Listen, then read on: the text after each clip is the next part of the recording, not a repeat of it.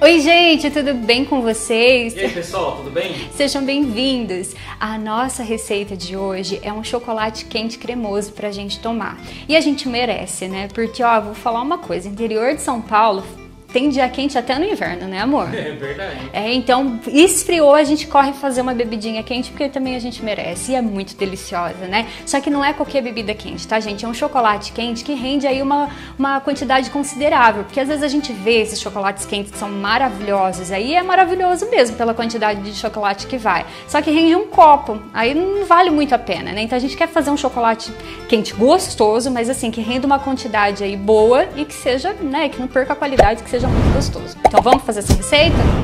Então, mas antes se inscreve no canal, ativa o sininho se você ainda não é inscrito. Agora sim, vamos? Então vamos. E eu vou fazer essa receita, gente, para um litro de leite, tá? Lembrando que você pode dobrar aí essa quantidade de receita, tá? Então vamos lá, pega aí uma panela, e nessa panela eu vou adicionar 4 colheres de sopa cheias de açúcar. O açúcar que eu estou usando aqui é o açúcar refinado. E o que, que eu vou fazer, minha gente? Eu vou ligar aqui o fogo e eu vou fazer um caramelozinho com essa açúcar. Para quê? Para o açúcar ficar diferente aí nesse chocolate quente, sabe? O açúcar com gostinho de queimadinho vai ficar mais gostoso. Né? São detalhes aí que vai deixar a sua receita mais saborosa. Então a gente espera esse chocolate quente virar um caramelo. Aí eu mostro o ponto para vocês. Na verdade, esse caramelo ele nem precisa de um ponto muito certo. Como ele vai na bebida, é só esperar o açúcar derreter mesmo e virar corzinha de guaraná. Tá vendo, gente, a corzinha de guaraná? É isso aí, tá? Só esperar o açúcar derreter e ficar nessa corzinha de guaraná. Eu vou usar um litro de leite, mas eu não vou colocar tudo agora. Eu desliguei o fogo, tá? Porque o caramelo tá bem quente. Mas eu vou adicionar só um pouquinho do leite. Aí vocês veem que o caramelo endurece, né? Aí a gente liga o fogo e espera esse leite derreter o caramelo de novo. Aí a gente vem com o restante da quantidade de leite. Espero isso aqui dissolver bem. Olha só, gente, aquele pouco de leite que nós colocamos junto com o açúcar já ferveu e fez o açúcar derreter novamente. Agora a gente vem com o restante do leite. Olha que corzinha bonita que já dá. Aí eu vou acrescentar 4 colheres de sopa bem cheias de chocolate 50% cacau tá? Que já vai deixar aqui o nosso chocolate quente bem gostoso. Se você tiver só achocolatado, você pode fazer também, mas de repente aí diminuir uma colher de açúcar, tá? Para não ficar tão doce assim. O chocolate ele demora um pouquinho mais para dissolver, vocês estão vendo, ó? É, mas na hora que o leite esquentar bem aqui, ele dissolve bem também. Já vou colocar uma caixinha de creme de leite para realmente ficar bem cremoso e gostoso.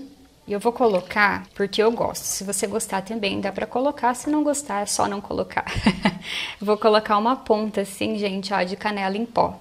Se você quiser colocar aquela canela de pau também, sabe? Aquela canela de pauzinho, pode colocar também. Os dois, três pedaços aí. Vou colocar porque eu acho que fica muito gostoso. E quando esse chocolate aqui quando esses ingredientes aqui já dá uma boa dissolvida com leite, aí eu venho com o próximo passo, quando estiver fervendo, já querendo levantar fervura, eu senti que está bem quente. Como vocês estão vendo, todos os ingredientes já dissolveram bem aqui no leite que a gente colocou. Isso quer dizer que ele já esquentou e dissolveu, tá? Ele não é um leite que vai levantar fervura por causa de todo o doce que já tem aqui. Então, nesse momento, que já tiver tudo dissolvido, eu vou acrescentar uma colher de amido de milho dissolvida na água. Agora a gente mexe até atingir a consistência de um chocolate quente mais grosso e espera cozinhar um pouquinho aí esse amido que a gente colocou.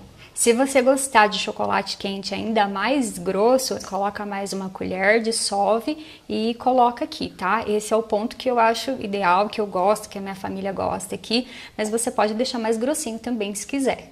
E eu tô fazendo assim na panela porque eu acho mais fácil, como a gente, né, derreteu o caramelo e tal, acho bem mais fácil fazer esse tipo de leite aqui na, na panela mesmo.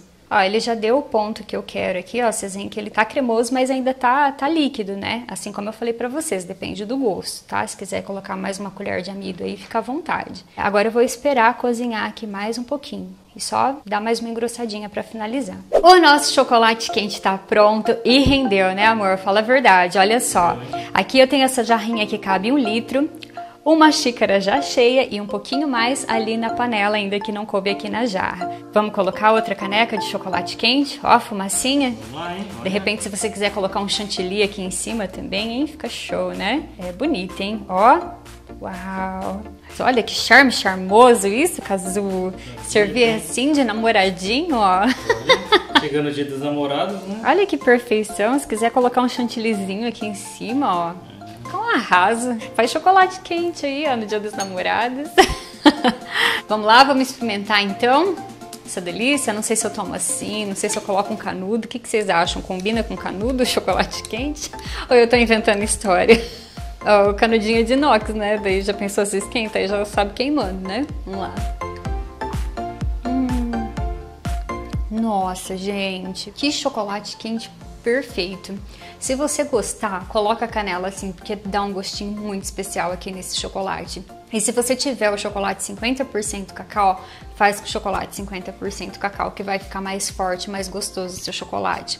Né? E vocês viram que rende bastante. Dá para você comprar um pacote de chocolate aí e fazer né, o inverno todo, né, amor? É verdade. Uma bebidinha maravilhosa dessa. O que, que é isso? Deixa eu tomar assim agora. Gente, isso daqui esquenta o corpo, a alma, sabe?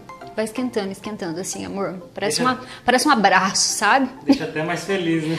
Com certeza. Essas receitas aqui, gente, né, que vocês sempre veem no canal, é, não é o que a gente come todo dia. Mas na minha opinião, todo mundo merece um agrado desse, né, amor? Pelo menos no finalzinho de semana ali, comer essas comidinhas que a gente ama faz bem, fala a verdade. Ah, com certeza, né? Compartilha aí esse vídeo, gente. Vale a pena. Compartilha esse vídeo com quem você gosta. Me diz aí embaixo o que, que você achou. Você gostou dessa receita? Eu espero muito, muito mesmo que sim, que vocês sabem que toda receita que a gente traz aqui pro canal é sempre com muito carinho. E se você gostou dessa receita, se inscreve no canal, vai? se inscreve e ativa o sininho para não perder mais nenhum vídeo que a gente coloca aqui. Aí na tela do seu computador ou do seu celular também está aparecendo o endereço das minhas redes sociais, ou então você pode acessar o link aqui na descrição abaixo, tá? Me segue lá no Instagram. E se você fizer essa receita do chocolate quente ou qualquer outra receita aqui do canal, é só fazer uma foto bonita, me marcar no Instagram que eu vou lá conferir a sua receita e interagir um pouquinho com você, tá bom? E um último recadinho. Você está precisando de alguma coisa do Magazine Luiza, algum eletrônico, eletrodoméstico? Vocês sabem que a loja virtual do Magazine Luiza é imensa, né? Cheia de possibilidades aí. O que, que você está precisando? Você também pode comprar no Magazine Luiza através da minha página e receber no conforto da tua casa ou na loja física se você quiser. Um super beijo para você. Fica com Deus. Tchau.